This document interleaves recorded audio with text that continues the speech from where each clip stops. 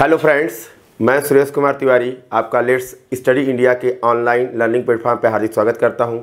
जैसा कि आप लोग जानते हैं कि टेंथ और ट्वेल्थ के बोर्ड के एग्जामिनेशंस आने वाले हैं।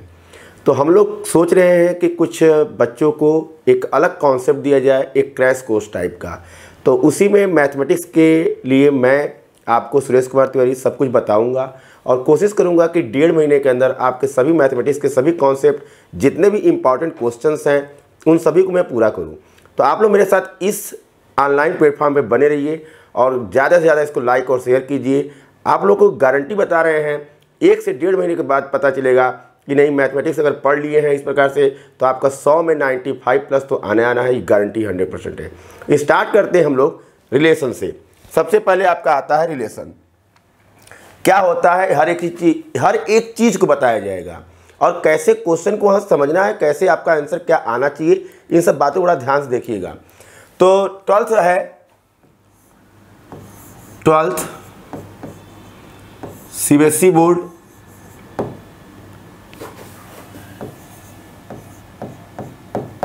twelfth CBSE board की बात करते हैं हम।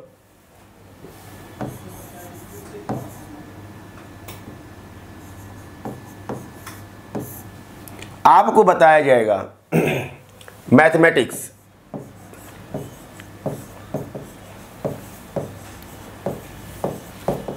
इसकी बात हम लोग करेंगे। सबसे पहला आपका जो चैप्टर स्टार्ट होता है, वह है रिलेशन। सबसे पहला जो चैप्टर आपका है, वो क्या है? रिलेशन। रिलेशन के केवल दो वीडियो मैं बनाऊँगा।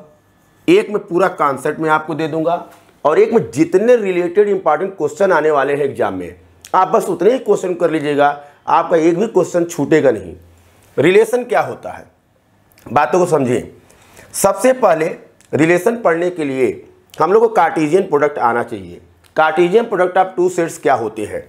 तो मैंने जैसे डाला heading Cartesian product of two sets Cartesian product of two sets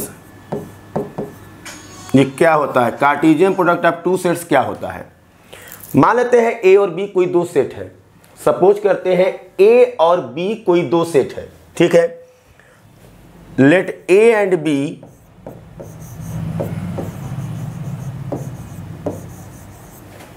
be and two sets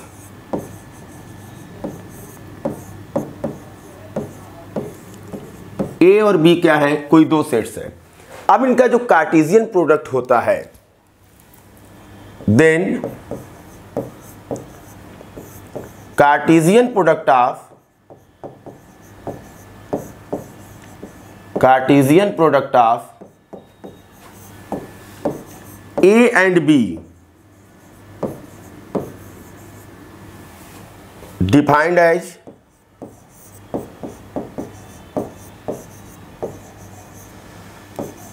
A cross B जो कार्टिजियम प्रोडक्ट होता है ए और बी का, उसको कैसे, क्या लिखा जाता है? ए क्रॉस बी लिखा जाता है। अब इसके अंदर एलिमेंट कैसे आते हैं? ए क्रॉस बी एक सेट होता है, जिसके अंदर ऑर्डर्ड पेयर टाइप के एलिमेंट आते हैं। तो ए क्रॉस बी के अंदर कैसे एलिमेंट आएगा? ए बी टाइप के एलिमेंट आते हैं। सच दैट ए जो होता है first element belonging to first set and second element belonging to क्या होता है? सेकेंड सेट होता है। तो A belongs to capital A और बी बिलोंगिंग टू क्या होगा? कैपिटल बी होगा। जैसे फॉर एग्जांपल अगर आपको बताएँ, अगर मान लो A equal to one two है बी इक्वल टू आपका ए बी सी है तो ए क्रॉस बी जो होगा ए क्रॉस बी में ध्यान रखना। पहले ए लिखे हो तो ए का एलिमेंट आएगा। देन आफ्टर किसका आएगा? बी का आएगा। तो क्या हो जाएगा? वन का पहले ए से होगा, फिर वन का किससे होगा? बी से होगा, फिर वन का किससे होगा? सी से होगा। इसी तरह टू का किससे होगा? ए से होगा, फिर टू का किससे होगा? बी से होगा, फिर टू का किससे होगा? सी से होगा। क्लियर है मेरी बात? और अगर बी क्रॉस ए निकालते, अगर बी क्रॉस ए की बात करते तो बी क्रॉस ए में क्या होता? ए का वन के साथ फिर ए का टू के साथ। इसी तरह बी का फिर करते बी का किसके साथ होगा? वन के साथ होगा। फिर बी का किसके साथ होगा? टू के साथ होगा। इस तरह सिमिलरली किसका सी का होगा? सी का वन के साथ होगा। एंड देन सी का टू के साथ होगा। अब आप देख रहे हैं। खुद सोचो यार। वन का ए के साथ। जैसे एक फैमिली दूसरे फैमिली में गई गई। तो आप अगर उनको किसी रिलेशन से बुला रहे हो तो क्या वो भी आपको उसी रिलेशन से बुलाएँगे? नहीं नहीं हो सकता है। इवन आप अगर किसी को मामा कर रहे हो तो वो भी आपको मामा कहेगा। ये तो हो ही नहीं सकता है। क्योंकि अगर वह आप उनको मामा कहे हो तो आप उनके क्या होगे? भांजे होंगे। इसी तरीके से देखो यहाँ से।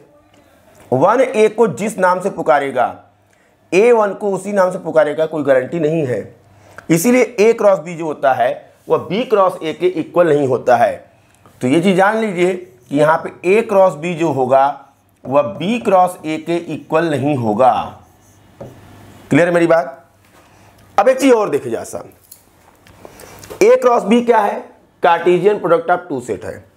एलिमेंट कैसे होते हैं? ऑर्डर पेयर टाइप के एलिमेंट होते हैं।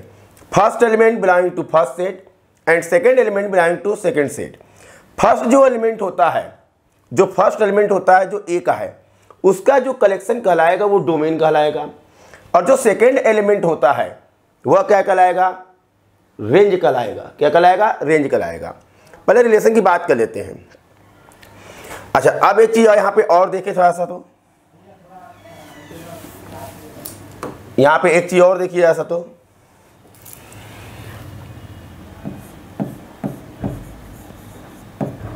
अगर ए के पास यम एलिमेंट है, इसको बोलते हैं कॉर्डिनेलिटी ऑफ़ ए क्या है? कॉर्डिनेलिटी ऑफ़ ए हुआ। ए के पास कितने एलिमेंट है? एम एलिमेंट है number of element in A और बी के पास मान लो एन एलिमेंट है। तो 100 परसेंट गारंटी है कि ए क्रॉस बी की जो कॉर्डिनेलिटी होगी, वह यम इंटू यन होता है। वह क्या होता है?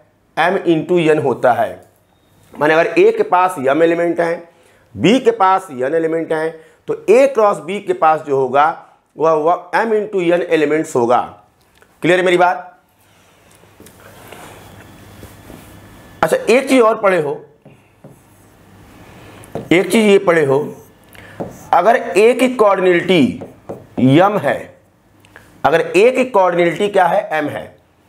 कॉर्डिनेलिटी का मतलब क्या हुआ? Number of elements in A अगर ए में यम एलिमेंट्स हैं तो टोटल नंबर ऑफ़ सबसेट्स क्या होता है?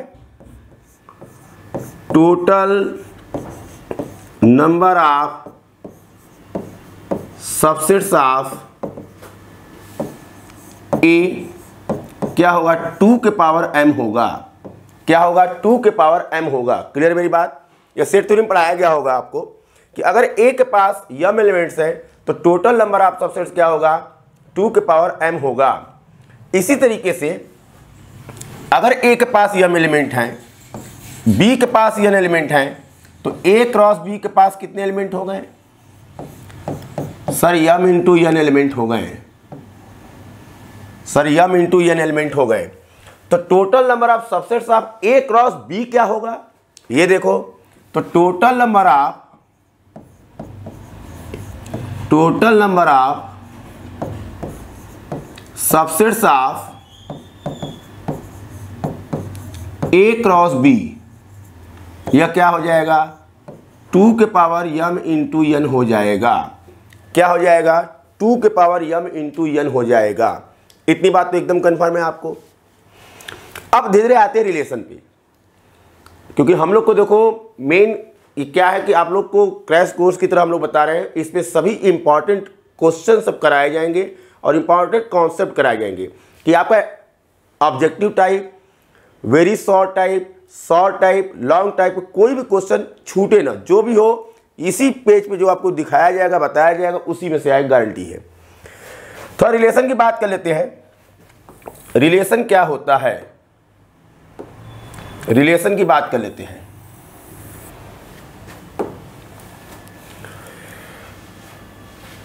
अगर लिखा जा रहा है, मैंने हेडिंग डाल दिया relation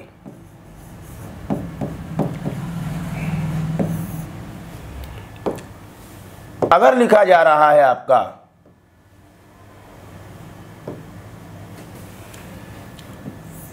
let r be a relation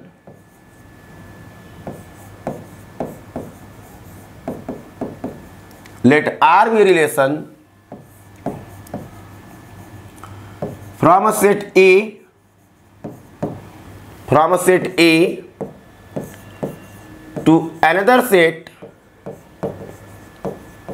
to another set b अगर आपने ये स्टेटमेंट बोल दिया, अगर आपने ये स्टेटमेंट बोल दिया है कि आर जो है वो एक रिलेशन है from A set A to another set B तो इसका बस एक और एक ही मतलब होता है कि आर जो होगा, वह सबसेट होगा किसका? ए क्रॉस बी का।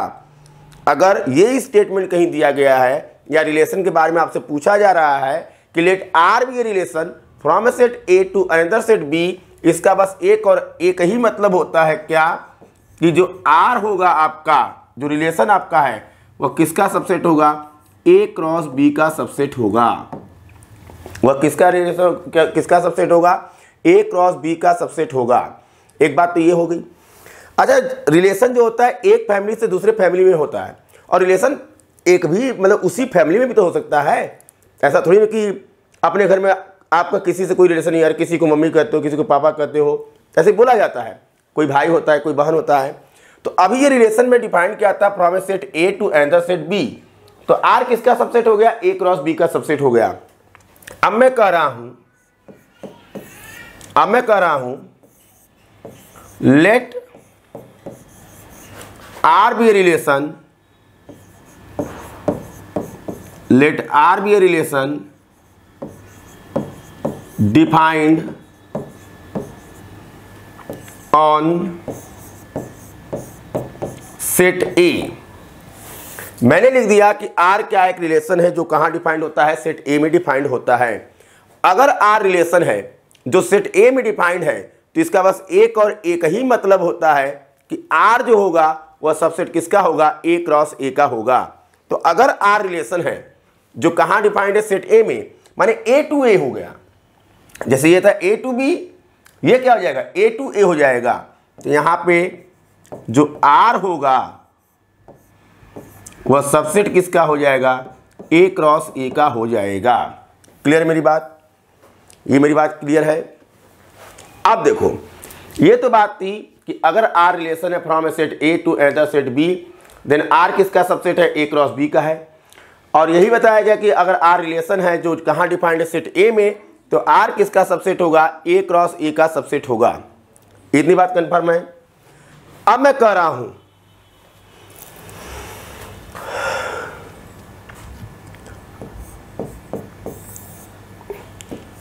A has M element and B has n element. A की जो कॉर्डिनिटी है वह क्या है? एम है।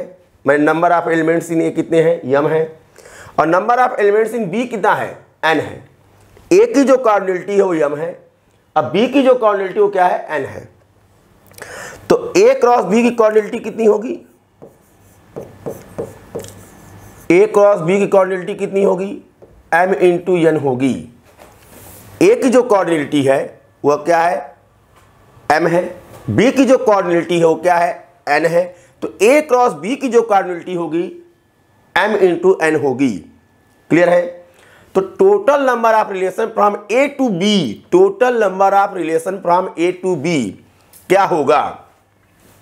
Then total number of then total number of relations from A to B from A to B, क्या होगा? Are two to the power M into N होगा। अब देखो मेरी बात। क्या देख रहे हो? अगर ए की कॉर्डिलिटी एम है बी की क्वालिटी कितनी है? एन है। अगर ए की कॉर्डिलिटी यहाँ कितनी मैंने बताया? ए की क्वालिटी मैंने लिखा है यम है। बी की क्वालिटी एन है। तो ए क्रॉस बी की कॉर्डिलिटी कितनी हो गई? यम इंटू एन हो गई। तो total number of relation from A to B कितना हुआ? टू के पावर एम एन हुआ।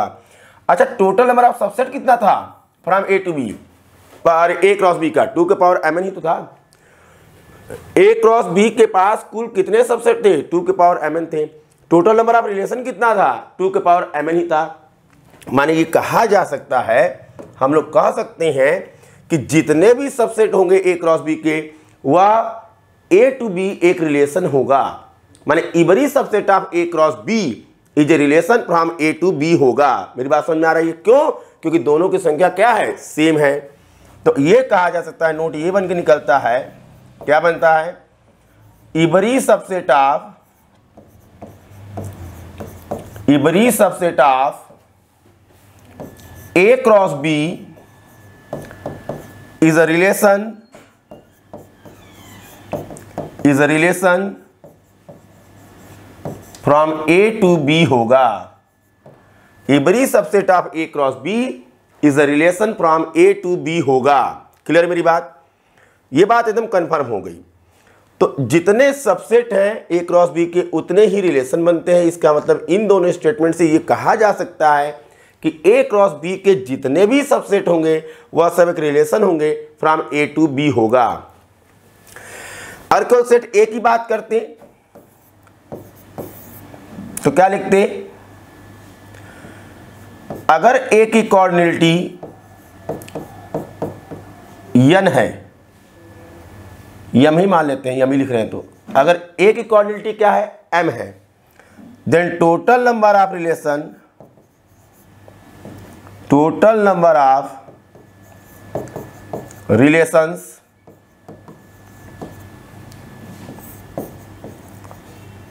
defined on A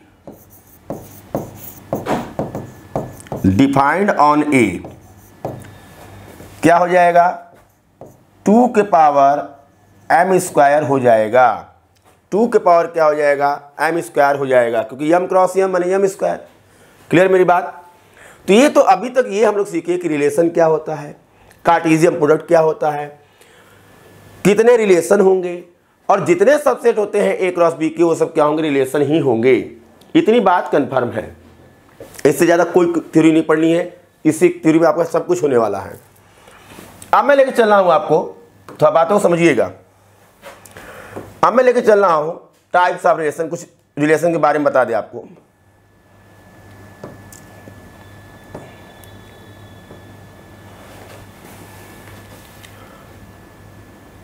empty relation क्या होता है? इम्पटी रिलेशन या इसी को बोला जाता है वाइड रिलेशन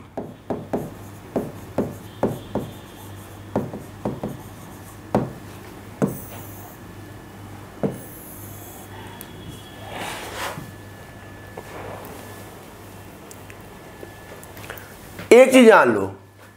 मैंने बोला relation capital R defined on A set A is said to be empty relation phi क्या होता है? ए क्रॉस ए का सबसेट होगा। भाई फाइव जो होगा ए क्रॉस ए का सबसेट होगा उसी फाइव क्या बोलते हैं? इम्पटी रिलेशन बोला जाता है या वाइड रिलेशन बोला जाता है। कहाँ? On A set A since phi subset A cross A phi क्या होता है? सबसेट होता है किसका? ए क्रॉस ए का होता है। क्लियर है मेरी बात? और अभी बोले हो कि ए क्रॉस ए के जितने सबसेट होंगे, वो सब क्या होंगे? रिलेशन होंगे defined on A then phi is known as then phi is known as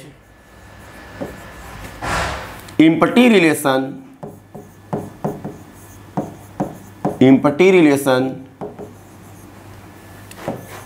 defined on A clear है? या ऐसे भी कहा जा सकता है कि no element of A related with any element of A A का कोई भी सदस्य ए के किसी भी सदस्य से कोई रिलेशन नहीं रखता है। अगर मैंने बोल दिया let R be relation and R is said to be empty relation इसका मतलब यही हो गया। There is no any element of A related to any other element of A A का कोई भी एलिमेंट एक किसी भी एलिमेंट से कोई भी संबंध नहीं रखता है। तो that is called empty relation होगा। मैं एक एग्ज़ाम्पल बताता हूँ। इम्पटी रिलेशन का। मान लो ए बराबर एक, दो, तीन, चार, पाँच है। अब आर डिफाइन कर रहे हैं। Define R define R on A R को डिफाइन कर रहे हैं कहाँ पे? ए पे डिफाइन कर रहे हैं। कैसे? कि आर के अंदर उन्हीं आर्डर पेयर को लेना है, जिनका जो डिफरेंस हो हमेशा क्या है? ट्वेल्व आए। ए माइनस बी क्या आएगा? ट्वेल्व आएगा। आर के अंदर उन्हीं ए बी को लेना है, जो कि ए माइनस बी को क्या दिखाए? ट्वेल्व दिखाए। तो इसमें किसी भी दो को माइनस करो या ट्वेल्व तो नहीं आना है कभी। आएगा? इसमें किसी भी दो को करो माइनस करो ट्वेल्व कभी आएगा। मॉड आप ए माइनस बी कर लो तो भी नहीं आएगा, देख लो। किसी भी दो को लेके चले, अगर उनका डिफरेंस निकाल दें तो ट्वेल्व कभी नहीं आएगा। पाँच चार का डिफरेंस एक आएगा, तीन पाँच का दो आएगा, नहीं आएगा। माने क्या देख रहे हैं?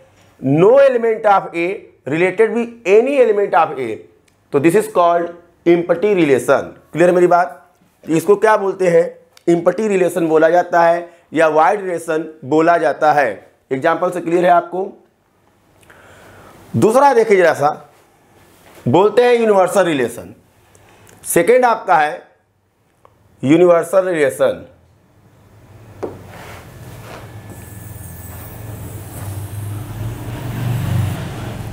सेकेंड आपका है यूनिवर्सल रिलेशन।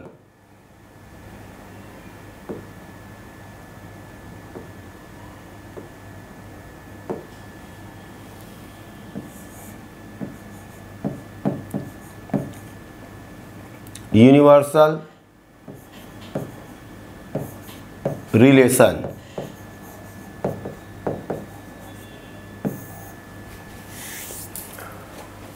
अगर R equal to A cross A हो जाए capital R defined on a set A a relation capital R defined on a set A such that R equal to A cross A, एक relation R है जो कहाँ defined है? Set A में, और इस प्रकार से है कि आर किसके इक्वल है? ए क्रॉस ए के इक्वल है।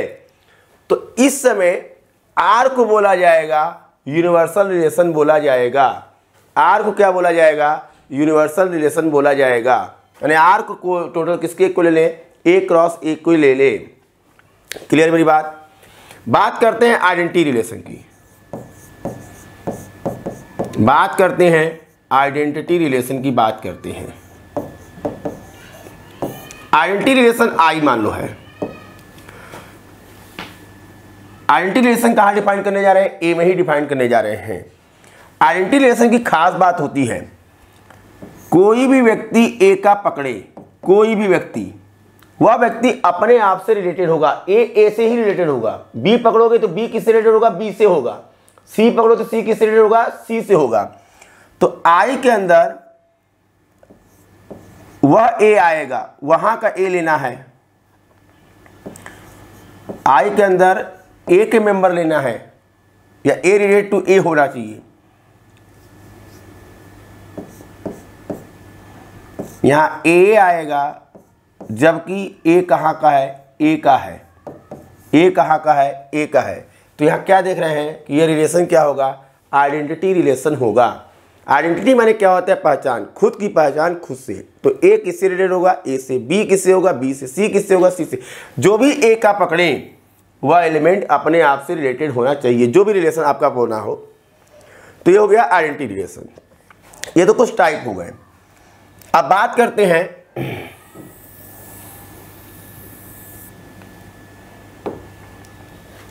कोई भी रिलेशन अगर सेट ए में डिफाइंड है तो उसको रिफ्लेक्सिव कब बोला जाएगा? उसको सिमेट्रिक कब बोला जाएगा? उसको ट्रांसटिव कब बोला जाएगा?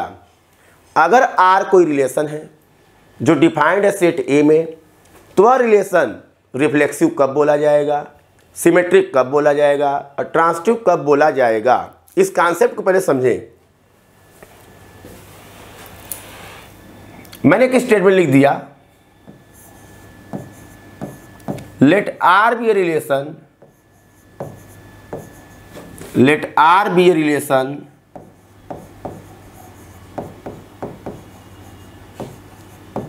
defined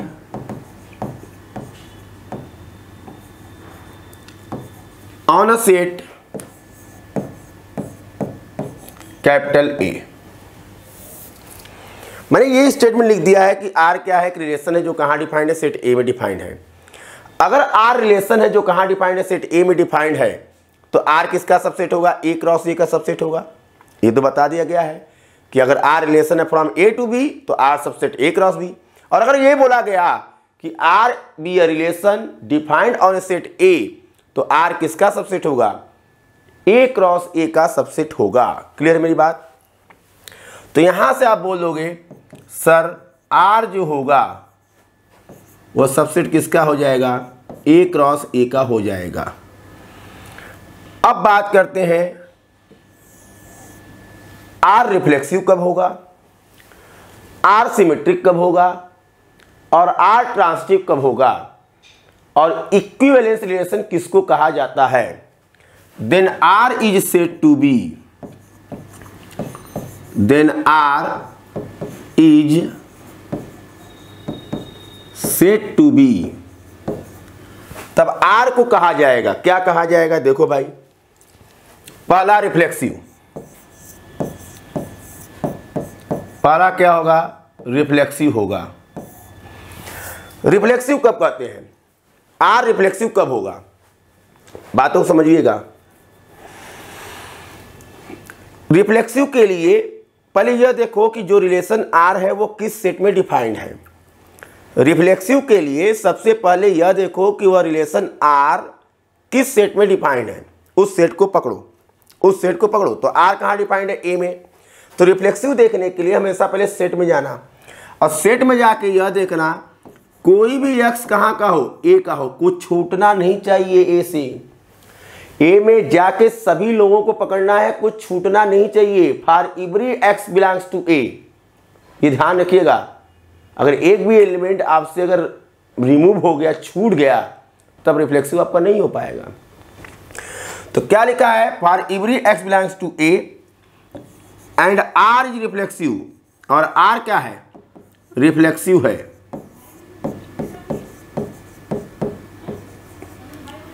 तो गारंटी है कि कोई भी यक्स अगर ए से पकड़े और आर अगर रिफ्लेक्सिव है तो गारंटी है कि यक्स यक्स जो होगा, यक्स का आर्डर खुद यक्स के साथ वो कहाँ होगा? आर में होगा। दैट इज़ यक्स जो होगा, किससे संबंधित होगा? एक्स से रिलेटेड होगा। X related to X. अब रिलेशन जो भी दिया गया हो, भाई का दिया गया हो, बहन का दिया गया हो प्रपेंडिकुलरिटी हो पैरलर हो कांग्रेंसी हो, कुछ भी हो आर को पढ़ेंगे। अगर ये रिफ्लेक्सिव होगा तो गारंटी कोई भी यक्स कहाँ से पकड़े? ए से पकड़े। अगर आर रिफ्लेक्सिव है तो यक्स का आर्डर पेयर खुद यक्स के साथ आर में होना चाहिए। माने एक्स किससे रिलेटेड होगा? एक्स से होगा। क्लियर मेरी बात? अब देखो, जैसे रिफ्लेक्सिविटी का एक सामाजिक न्याय ये है। जैसे मान लो किसी कस्बे में, किसी कॉलोनी में कहीं भी कोई राम बहादुर सिंह का नाम का व्यक्ति रहता है। ऐसे सोचो। अब राम बहादुर सिंह नाम का कोई व्यक्ति रहता है अब मान लो वो अपने जो उसका पेशा है, वो एक दरोगा है। तो जब वो घर से निकलता है, अपने यूनिफॉर्म में तो लोग उसको क्या बोलते हैं? अरे, दरोगा साहब, प्रणाम। दरोगा साहब, नमस्कार। गुड मॉर्निंग, दरोगा साहब। ना देखो क्या उसका नाम दरोगा साहब है? उसका नाम क्या है? राम बहादुर है। लेकिन राम बहादुर से क्या है? वह क्या है? दरोगा है।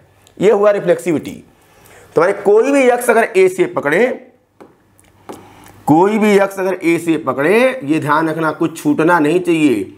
और आर अगर रिफ्लेक्सिव है तो गारंटी है कि यक्स यक्स कहाँ होगा? आर में होगा, माने यक्स इससे रिलेटेड होगा एक्स से होगा। क्लियर मेरी बात? बात करते हैं।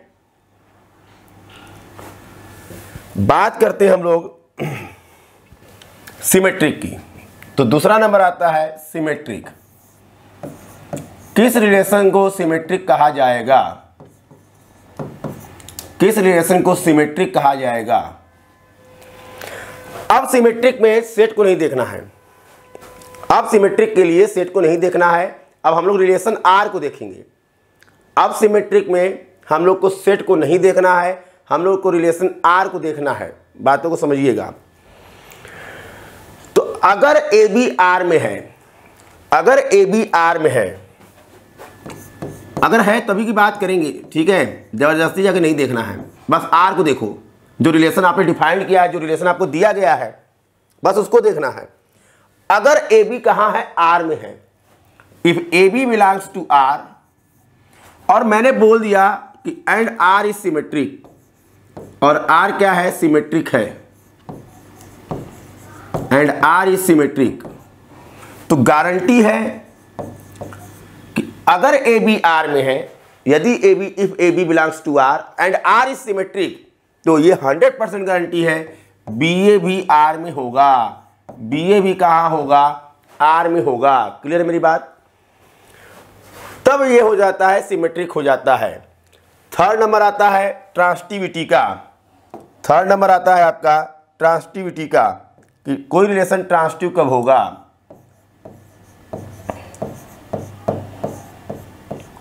ट्रांसटिव किसी भी रिलेशन को ट्रांसटिव कब बोला जाएगा? देखो एक चीज़ बता दे। ट्रांसटिव का मतलब क्या है? मेरा संबंध अगर किसी व्यक्ति से है और उसका संबंध किसी दूसरे से है तो मेरा डायरेक्ट संबंध उससे क्या हो जाएगा? हो जाएगा। लेकिन अगर मेरा संबंध इससे है और उसका उससे है तब, मालूम मेरा संबंध इनसे है ही नहीं। उनका उनसे है ही नहीं तो मेरा कैसे उनसे होगा? बातों को समझिएगा। तो कहने मतलब अगर आर में ऐसी चीज़ें हैं, तब देखना है। अगर नहीं है तो नहीं देखना है। तो क्या बोला जाएगा? If A B belongs to R अब ए का रिलेशन किससे है? बी से। अब अगर बी का किससे हुआ? सी से हुआ, तब डायरेक्ट ए का सी से देखेंगे, वरना नहीं देखेंगे। And B C belongs to R A B कहाँ बिलोंग किया है? आर में। बी सी कहाँ बिलोंग किया है? आर में। तो A B belongs to R है B C belongs to R है एंड आर इज़ ट्रांसटिव अगर आर ट्रांसटिव है एंड आर इज़ ट्रांसटिव तो गारंटी है कि ए सी कहाँ होगा? आर में होगा। ए सी कहाँ होगा? आर में होगा। क्लियर है मेरी बात? तो रिफ्लेक्सिविटी में सेट पर जाना है पहले। सेट के सभी मेंबर को देखना है। और अगर कोई भी फारिबरी एक्स अगर ए में है और आर अगर रिफ्लेक्सिव है तो एक्सेस कहाँ होगा? आर में होगा। ये हो गई रिफ्लेक्सिविटी। सिमेट्रिसिटी क्या कहता है? अगर ए बी आर में बिलोंग कर रहा है, माने ए रिलेटेड टू बी है, और आर अगर क्या है? सिमेट्रिक है तो बी रिलेटेड टू ए भी होगा। ये गारंटी है। तीसरा क्या कहता है? ट्रांसटिव कौन सा रिलेशन कराता है किस रिलेशन को ट्रांसटिव कहे हैं? अगर ए का रिलेशन बी से है, बी का किससे है? सी से है और अगर आर ट्रांसटिव है तो गारंटी है कि ए का रिलेशन किससे होगा? सी से होगा। माने A B belongs to R B C belongs to R तो गारंटी है कि अगर आर ट्रांसटिव है तो ए सी भी आर में होगा। यहाँ देखिए, अगर है तो ए का रिलेशन बी से, अब बी का अगर सी से है, तब डायरेक्ट ए का सी से देखेंगे। बी का अगर सी से नहीं है तो ए का सी से नहीं देखेंगे। बात करते हैं इक्विवेलेंस रिलेशन की। बात करते हैं इक्विवेलेंस रिलेशन की बात करते हैं। किस रिलेशन को इक्विवेलेंस रिलेशन बोला जाएगा? बात करते हैं equivalence relation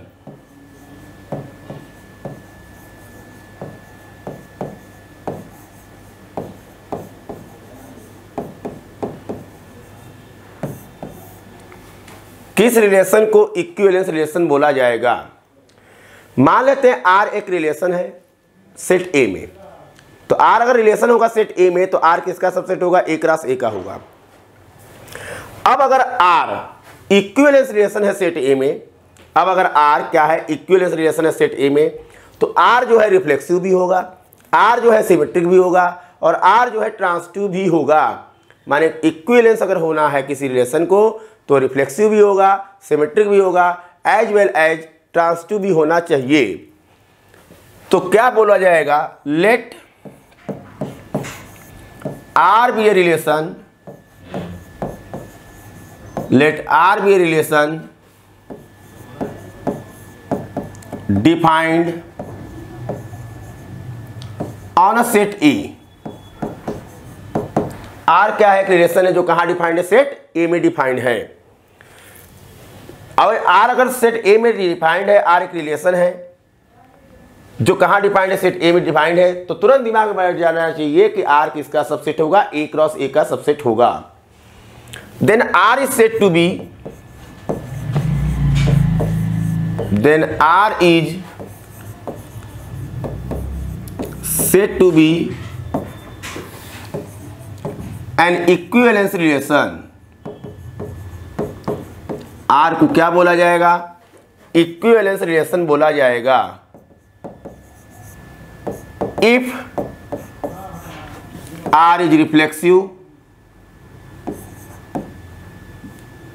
R is reflexive symmetric R is reflexive symmetric as well as transitive भी होना चाहिए एज वेल एज ट्रांसटिव भी होना चाहिए। तो अगर कोई रिलेशन इक्वेलेंस है, अगर कोई रिलेशन इक्वेलेंस है तो गारंटी है कि वह रिफ्लेक्सिव भी होगा सिमेट्रिक भी होगा ट्रांसटिव भी होगा। बात करते हैं इनवर्स ऑफ़ रिलेशन की। पहले मैं थ्योरी एक बार में कंप्लीट कर लेता हूँ और एक बार फिर मैं आपको बता दूँगा कितने क्वेश्चन आएँगे कौन कौन से क्वेश्चन आएँगे। मैं वही क्वेश्चन करूँगा जो आपके एग्ज़ाम में आने वाले हैं। हंड्रेड परसेंट गारंटी है। आप करके जाइएगा, देखिएगा, सब वही होगा। बात करते हैं इनवर्स ऑफ़ रिलेशन की। बात करते हैं इनवर्स ऑफ़ रिलेशन की बात किया जाएगा।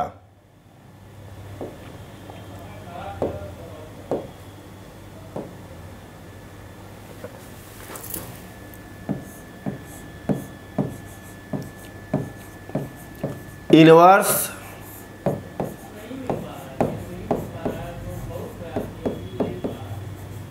इनवर्स ऑफ़ रिलेशन बहुत ध्यान समझिएगा। मैंने लिखा let R be relation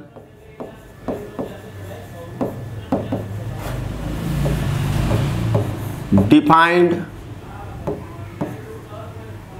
let R be relation from A to B लिख दो। आर क्या है? रिलेशन है कहाँ से कहाँ तक? Let R be relation from A to B R क्या एक रिलेशन है कहाँ से कहाँ तक? ए से बी तक। Let R be relation from A to B R क्या एक रिलेशन है कहाँ से कहाँ तक? ए से बी तक। तो एक तो पक्का हो गया कि अगर आर रिलेशन है ए से बी तक तो आर किसका सबसेट होगा? ए क्रॉस बी का होगा। गारंटी हो गई। क्या? कि जैसा सर आपने लिखा है कि let R be relation from a set A to B इसका मतलब सर आर जो होगा सबसेट किसका होगा? ए क्रॉस बी का होगा। Now inverse of R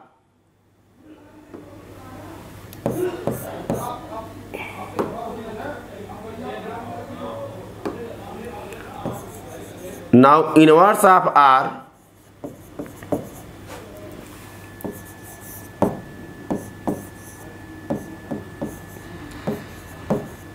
is denoted by r inverse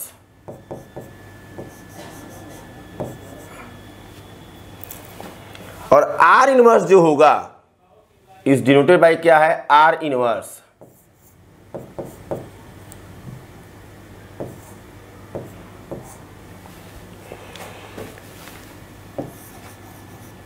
and it is also a relation it is also relation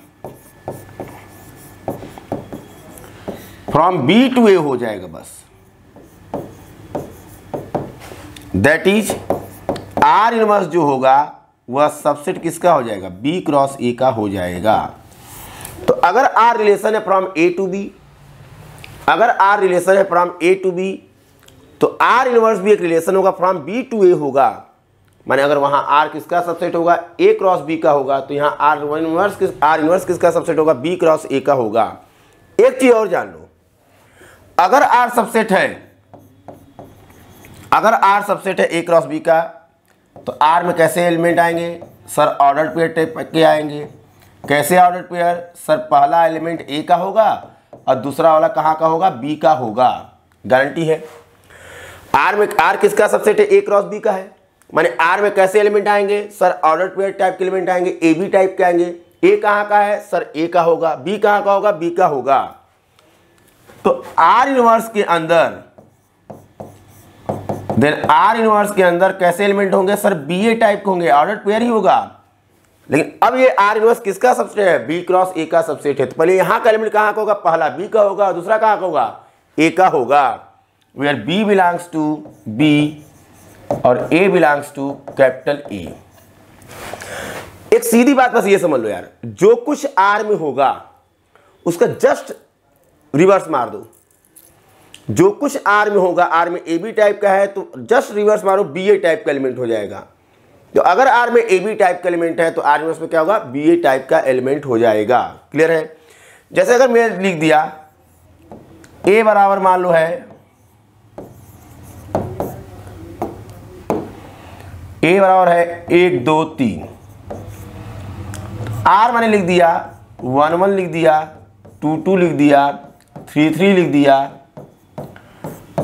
one, three लिख दिया, टू टू, वन लिख दिया, टू, वन लिख दिया। तो आर इनवर्स अगर लिखना होगा तो कुछ मत करो यार, बस इसको पलट, रिवर्स मारो। वन वन वन वन का रिवर्स क्या होगा? वन वन ही होगा। One one. टू टू का रिवर्स टू टू ही होगा। थ्री थ्री का रिवर्स थ्री थ्री ही होगा। वन थ्री का रिवर्स थ्री वन होगा और टू वन का रिवर्स वन टू होगा। बस, ये जान लीजिए। तो अगर आर के एलिमेंट पता है तो आर इनवर्स के एलिमेंट आराम से आप निकाल सकते हो। कि अगर आर के एलिमेंट जो भी होंगे, अगर आर में ए बी टाइप का एलिमेंट है तो आर इनवर्स में किस टाइप के एलिमेंट होंगे? बी ए टाइप का एलिमेंट होगा। क्लियर है मेरी बात? अब एक थ्योरम ये बनता है जो बहुत इंपॉर्टेंट है। किसी सेट में अगर कोई रिलेशन है, किसी सेट में अगर कोई रिलेशन है आर आर कोई रिलेशन है defined on a set A तो अगर आर सिमेट्रिक है तो R equal to R inverse होगा। और अगर R equal to R inverse है तो आर क्या होगा? सिमेट्रिक होगा। माने अगर ये दोनों बराबर हो जाती हैं आर था, ये आर इनवर्स था। अगर ये दोनों बराबर हो जाते हैं, अगर ये दोनों क्या हो जाते हैं इक्वल हो जाते हैं तो गारंटी है कि जो रिलेशन मेरा होगा, वो क्या होगा सिमेट्रिक होगा। तो थ्योरम मैं चलता हूँ, और थ्योरम को देखिए, और उसको समझिए, बड़ा ही इंपॉर्टेंट थ्योरम है।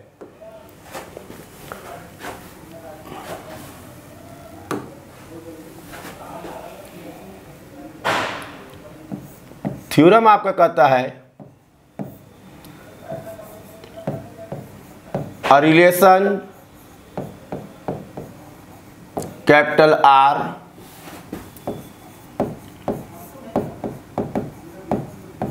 defined on a set A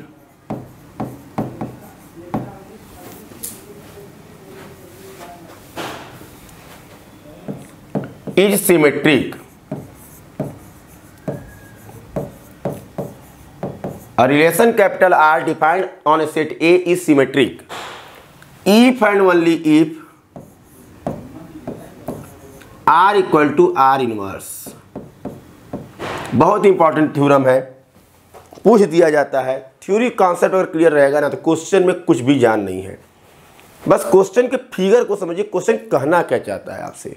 अगर आप जैसे ही स्टेटमेंट को समझ गए कि क्वेश्चन का स्टेटमेंट ये है तो गारंटी बता रहे हैं कि आपको कोई दिक्कत रिलेशन में तो होनी ही नहीं है।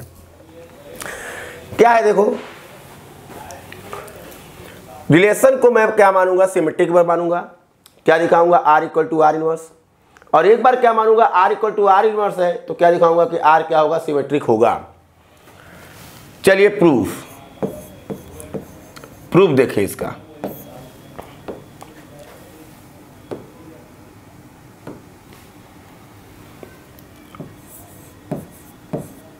Let R be relation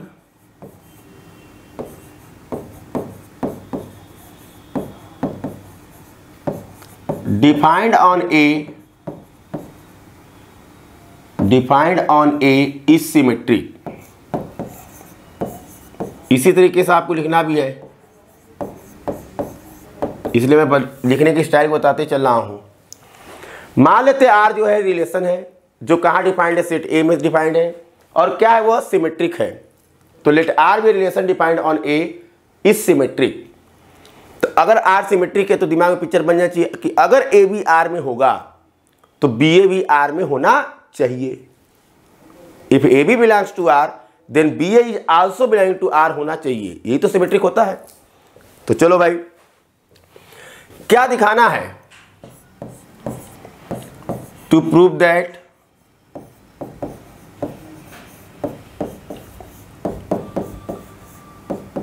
R equal to R inverse क्या प्रूव करना है?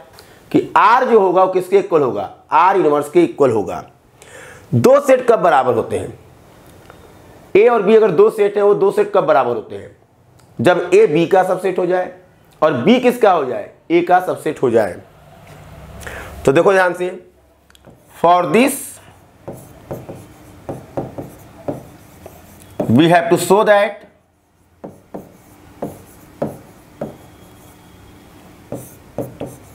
for this we have to show that R subset R inverse and R inverse subset R होगा। अब आर सबसेट आर इनवर्स कब होगा? जब आर के प्रत्येक member every element of R is also an element of R inverse जब R के सभी एलिमेंट कहाँ के हो जाए? आर इनवर्स के हो जाए। तो every element of R is also an element of R inverse यही तो करना है हमको। चलो भाई, बस एक चीज़ ध्यान रखना, जो आर में होगा, उसका जस्ट रिवर्स जो होगा, वो कहा होगा? आर इनवर्स में होगा। तो पहले ये दिखाने चलना है। पहले ये दिखाएँगे, फिर ये दिखाएँगे। इसको ए मान लेंगे, उसको बी मान लेंगे। Let a b belongs to R be any element यहाँ का कोई भी मेंबर ले वो यहाँ का होना चाहिए।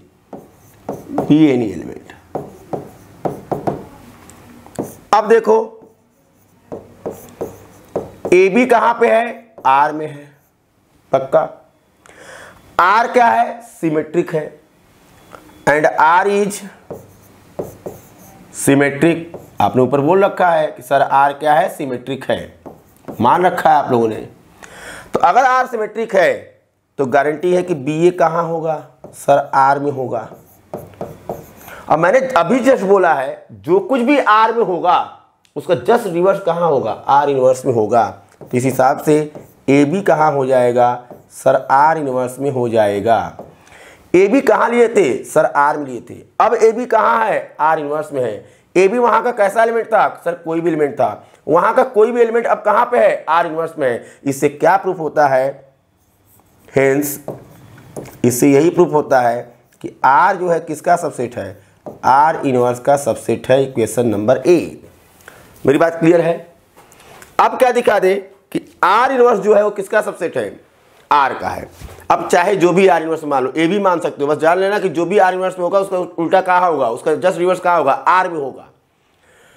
ये नहीं कि सर उसमें ए भी माने तो बी ऐसा कोई कॉन्सेप्ट नहीं है भाई। सिंपल सी बात, जो चीज़ आर में है उसका जस्ट रिवर्स आर इनवर्स में होगा। और जो चीज़ आर इनवर्स में है, उसका जस्ट रिवर्स कहाँ होगा? आर में होगा। बस, इतने समझे अगेन लेट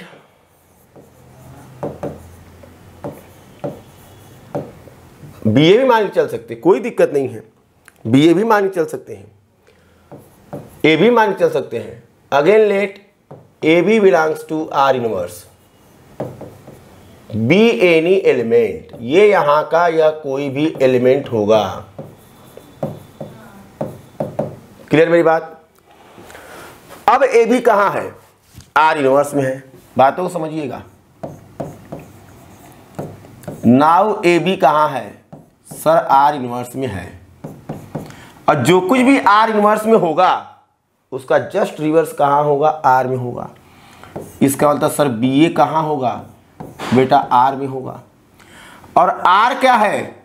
सर सिमेट्रिक है। And R is symmetric sir R क्या है? सिमेट्रिक है। तो गारंटी है कि अब ए बी कहाँ होगा? सर आर में होगा। क्योंकि बी अगर आर में है तो ए बी भी आर में होगा।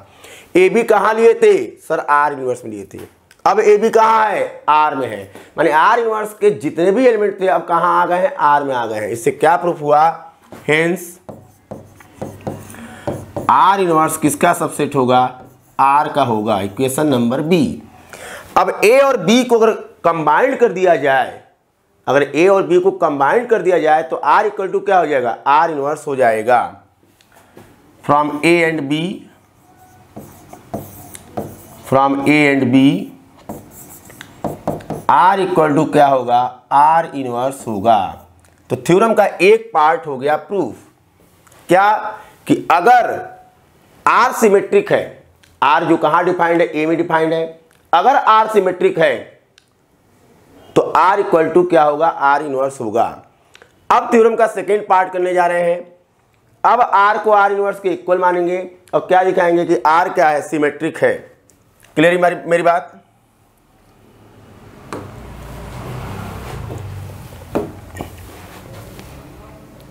कन्वर्स पार्ट कन्वर्स पार्ट अब क्या मानेंगे? Let R equal to R inverse क्या दिखा दे? To show that to show that R is symmetric R is symmetric symmetric कैसे प्रूफ होगा?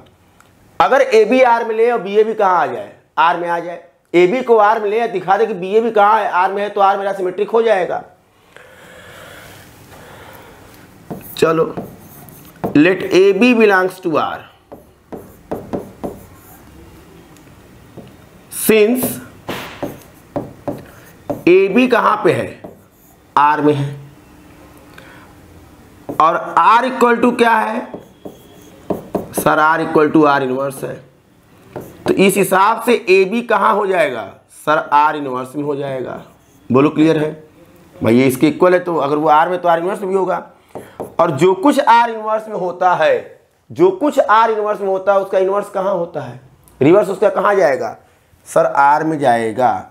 बी ए कहाँ जाएगा? सर आर में जाएगा। क्या देख रहे थे? ए बी को आर में लेकर चले थे। बी ए आर में आ गया। इसका मतलब आर क्या है? हेंस आर इज़ सिमेट्रिक हो गया। आर क्या हो गया? सिमेट्रिक हो गया। क्लियर मेरी बात? तो ये थ्योरम का कंप्लीट प्रूफ था, जो कि एग्ज़ाम के लिए बहुत ही इंपॉर्टेंट है कि अगर आर कोई रिलेशन है, किसी सेट ए में डिफाइंड है तो अगर आर सिमेट्रिक है तो R equal to R inverse होगा। और अगर R equal to R inverse है तो आर क्या होगा? सिमेट्रिक होगा। आगे चलते हैं। थोड़ा कॉन्सेप्ट और देख लेते हैं।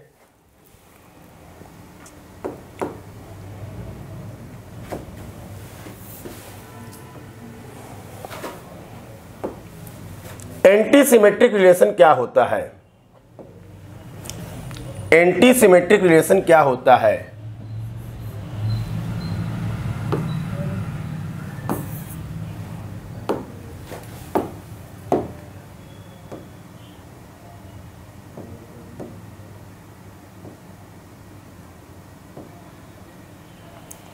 Anti symmetric relation.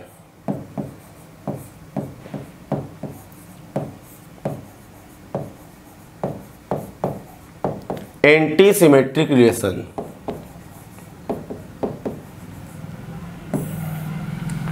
किस रिलेशन को एंटी सिमेट्रिक रिलेशन बोला जाएगा? A relation capital R defined on a set A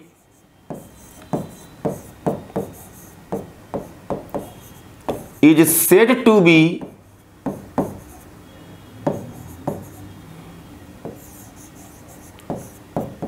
antisymmetric is said to be anti symmetric कब? अगर ए बी आर में है if a b belongs to R अगर A B कहाँ है? आर में है।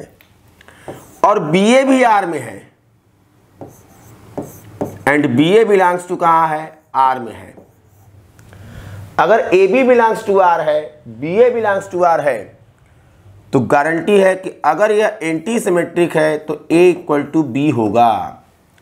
And R is anti-symmetric, and R is anti-symmetric अगर आर एंटी सिमेट्रिक है तो गारंटी है क्या? कि A इक्वल टू जो होगा, वह बी होगा। क्लियर है मेरी बात? समझ में आ रही होगी कि एंटी सिमेट्रिक क्या होता है? थ्योरी बस दो पार्ट और कर ले हैं। इसका थ्योरी खत्म हो जाएगी, फिर आपके क्वेश्चन स्टार्ट कर देंगे। और एक लेक्चर बस लगेगा क्वेश्चन करने में। बात करते हैं कि अगर आर इक्विवेलेंस रिलेशन है और यस भी इक्विवेलेंस रिलेशन है। तो आर इंटरसेक्शन यस भी क्या होगा? इक्विवेलेंस रिलेशन होगा कहाँ पे? सेट ए में। तो थ्योरम आपका बनता है। थ्योरम क्या बनता है?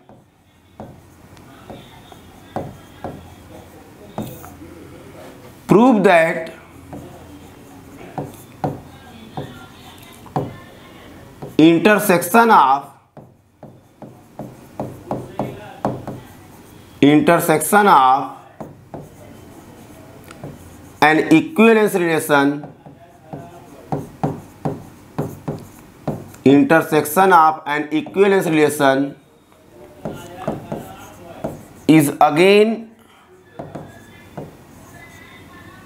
an equivalence relation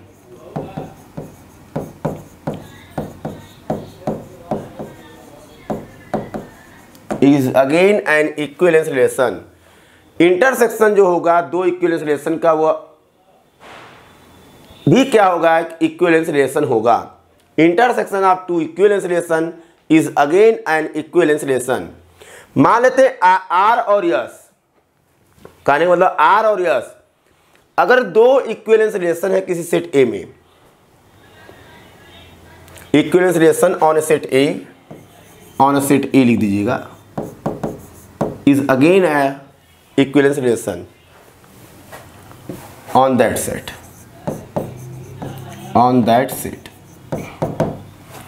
अगर R और यस दो इक्विवेलेंस रिलेशन है, अगर R और यस दो इक्विवेलेंस रिलेशन किसी सेट A में तो R इंटरसेक्शन यस भी क्या होगा? इक्विवेलेंस रिलेशन होगा। यही बात हम लोग को प्रूफ करनी है। तो डालते हैं प्रूफ और स्टार्ट करते हैं।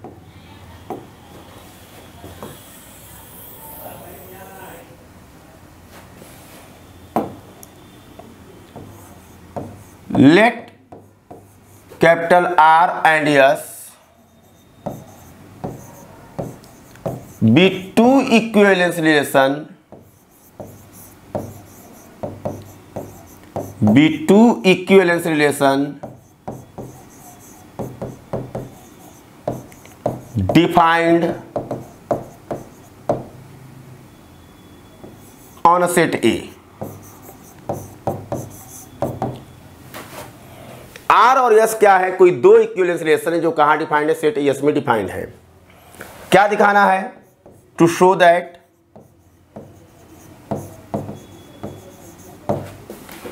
R intersection S is also an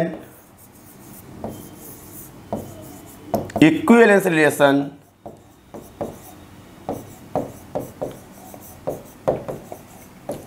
on A अब अगर आर इंटरसेक्शन यस खुद सोचो, अगर R intersection S equivalence relation होगा, अगर इक्विवेलेंस रिलेशन होगा तो गारंटी है क्या? कि आर इंटरसेक्शन यस अगर इक्विवेलेंस होगा तो रिफ्लेक्सिव भी होगा सिमेट्रिक भी होगा ट्रांसटिव भी होगा। पक्का? बात करते हैं रिफ्लेक्सिविटी की। बात किसी करते हैं रिफ्लेक्सिविटी की। रिफ्लेक्सिव क्या होता है? सेट का कोई भी एलिमेंट ले उसका ordered pair R intersection S में होना चाहिए। यही तो मतलब है रिफ्लेक्सिव का। तो रिफ्लेक्सिव के लिए कहाँ चलते हैं? सेट में चलते हैं। तो पहला लिखो reflexivity, reflexive.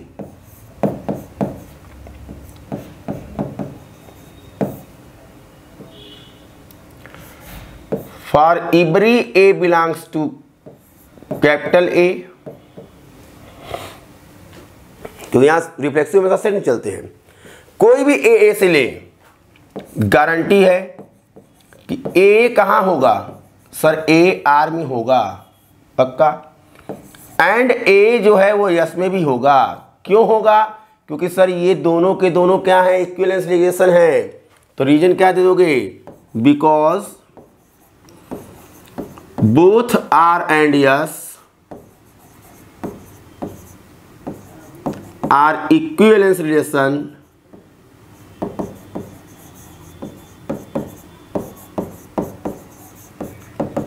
on A दोनों के दोनों क्या है? इक्विलेंस रिलेशन है कहाँ पे? ए में है। तो अगर कोई भी ए ए से पकड़े, कुछ छूटना चाहिए, नहीं चाहिए, मैं बता दिया था पहले ही।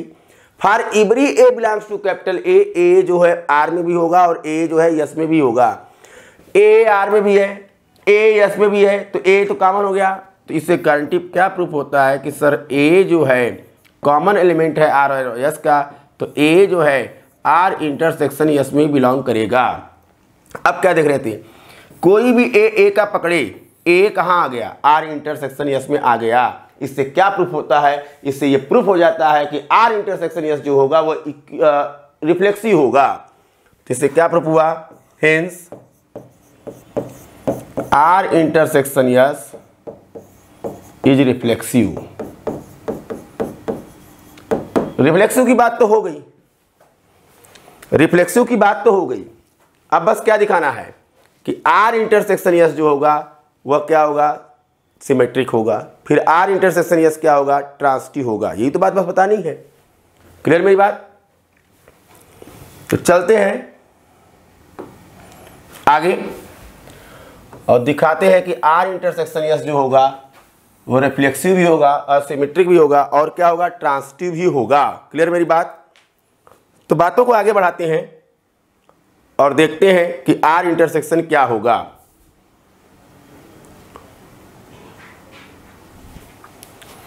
दूसरी एडी डालते हैं सिमेट्रिक की। दूसरा डालते हैं सिमेट्रिक का।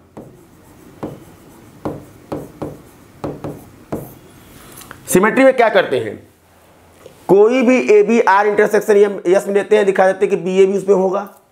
ये तो करते हैं सिमेट्रिक के लिए। Let A B belongs to R intersection S now अगर A B R intersection S में है और आर इंटरसेक्शन यस अगर सिमेट्रिक है तो B A B R intersection S में होना चाहिए। नाउ ए बी कहाँ है? सर आर इंटरसेक्शन यस में है। अगर A B R intersection S में है तो इसका मतलब ये ए बी जो होगा आर में भी होगा। एंड ए बी जो होगा, वो कहाँ होगा? सर यस में भी होगा। बोलो क्लियर है? और आर और यस दोनों के दोनों क्या है? इक्विवेलेंस रिलेशन है। आर और यस दोनों के दोनों क्या है? इक्विवेलेंस रिलेशन है। तो ऑब्वियस सिमेट्रिक तो होगा ही होगा। ऊपर मैंने इंफॉर्मेशन दे रखा है। तो यहाँ से क्या हो जाएगा? B A belongs to R and B A belongs to S हो जाएगा। क्यों? क्योंकि सर आर और यस इक्विवेलेंस रिलेशन है और अगर इक्विवेलेंस रिलेशन है तो सिमेट्रिक तो गारंटी होगा। अब देखो बी ए कहाँ है? आर में है। फिर बी ए कहाँ है? एस में है। तो बी ए आर में भी है बी ए एस में भी है, माने बी ए क्या हो गया? कॉमन एलिमेंट हो गया किसका? आर और एस का। तो इससे क्या प्रूफ हुआ? बी ए जो होगा वह आर इंटरसेक्शन यस में भी हुआ। अब क्या देख रहे हो? ए बी कहाँ लिए थे? सर आर इंटरसेक्शन यस में। बी ए कहाँ आ गया? सर आर इंटरसेक्शन यस में। इससे क्या प्रूफ हुआ? इससे ये प्रूफ हुआ कि आर इंटरसेक्शन यस जो है, वह क्या है? सिमेट्रिक है। Hence R intersection S is symmetric यह क्या है? सिमेट्रिक हो गया। क्लियर मेरी बात? अब बात करते हैं। ट्रांसटिव की बात करते हैं। इधर गरब करते हैं ट्रांसटिव बता दें आपको।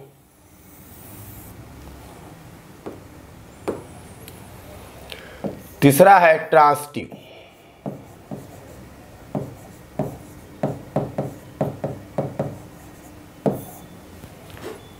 ट्रांसटिव में क्या दिखाना है कि अगर A B R intersection S में है, फिर B C R intersection S में है तो ए सी भी कहाँ होगा? आर इंटरसेक्शन यस में होगा। Let A B belongs to R intersection S and B C belongs to R intersection S क्या दिखाना होगा? टू शो दैट एसी जो होगा, वो कहाँ होगा? आर इंटरसेक्शन यस में होगा। क्लियर है मेरी बात? अब देखो। नाउ ए बी कहाँ है? ए बी कहाँ है? सर आर इंटरसेक्शन यस में। और यहाँ से बी सी कहाँ है? सर आर इंटरसेक्शन यस में है। ए बी अगर आर इंटरसेक्शन यस में है तो ए बी कहाँ होगा? सर आर में होगा। एंड ए बी कहाँ होगा?